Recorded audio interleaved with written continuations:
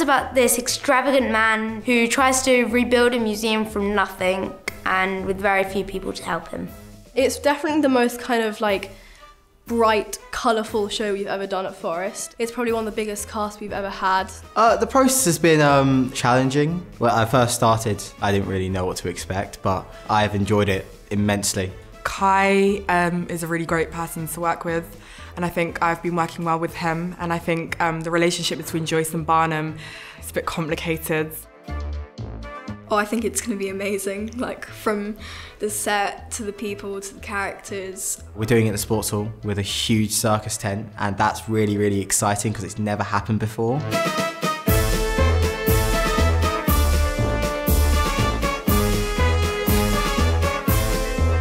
Never done a musical before, so it's like giving it a new light, new break for a special play.